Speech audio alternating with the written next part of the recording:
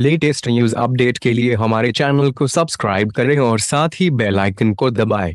बॉलीवुड सितारे अपनी फ़िल्मों के अलावा निजी ज़िंदगी से जुड़े खुलासों को लेकर भी हमेशा सुर्खियों में रहते हैं। ऐसे कई सितारे रहे हैं जिन्होंने अपनी ज़िंदगी के बारे हैरान कर देने वाले खुलासे किए हैं। बॉलीवुड अभिनेत्री और अभिनेता सैफ अली खान की बेटी सारा अली खान ने भी अपनी ज़िंदगी के बारे में बेहद खास खुलासा किया है।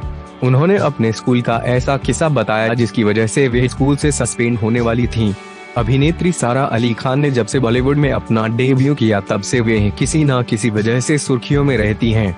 हाल ही में उन्होंने मुंबई में हर से बात की इस दौरान सारा अली खान ने अपनी फ़िल्मों के अलावा निजी ज़िंदगी के बारे में भी ढेर सारी बातें की सारा अली खान ने अपने स्कूल के दिनों को याद करते हुए कहा कि उन्होंने अपने स्कूल के समय ऐसी हरकत की थी कि जिसकी वजह से उन्हें स्कूल से सस्पेंड होने वाली थी।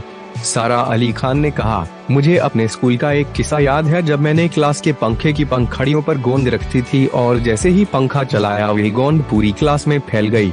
इस वजह से मैं लगभग सस्पेंड हो गई थी क्योंकि मेरी प्रिंसिपल मुझसे बार बार यही पूछ रही थी कि ऐसे क्यों किया जिसका मेरे पास कोई जवाब नहीं था। सारा अली खान अभिनेता सैफ अली खान और अमृता सिंह की बेटी है। स्कूल लाइफ में स्टार किड होने पर भी उन्होंने अपनी प्रतिक्रिया दी। सारा अली खान ने कहा कि स्कूल लाइफ में उन्हें कभी महसूस नहीं हुआ कि वह किसी कलाकार भी बेटी हैं। उन्होंने कहा मेरे माता पिता कलाकार हैं, लेकिन मुझे कभी ऐसा नहीं लगा कि मैं किसी स्टार परिवार के घर में पली बड़ी। मेरे पिता हमेशा पढ़ाई करने के लिए बोलते थे जबकि मेरे माँ विनम्रता की ध्वजवाहक है। इसलिए मुझे कभी महसूस नहीं हुआ कि मैं किसी स्टार परिवार के घर से संबंध रखती हूँ और न ही मैं खुद को एक स्टार के तौर पर देखती हूँ। इसके अलावा सारा अली खान अपनी ज़िंदगी और फ़िल्मों के बारे में ढेर सारी बातें की।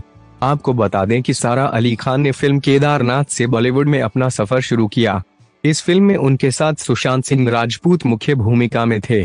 इसके अलावा सारा अली खान अभिनेता रणवीर सिंह के साथ फ़िल्म सिबा में दिखाई दी थी। बीते दिनों उनकी फ़िल्म लव आजकल भी रिलीज़ हुई। हालाँकि उनकी ये फ़िल्म सिनेमा घरों में कुछ खास कमाल नहीं दिखा सकी। फ़िल्म लव आजकल का निर्देशन इम्तियाज़ अली ने किया।